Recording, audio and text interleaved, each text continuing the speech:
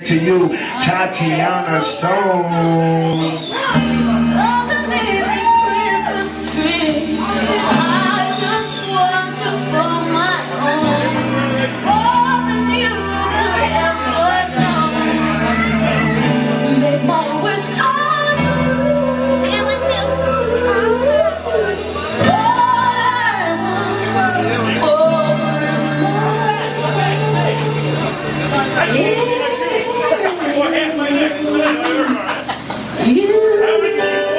Ladies and gentlemen, once again, let's make some noise for the very sexy Tatiana Stone.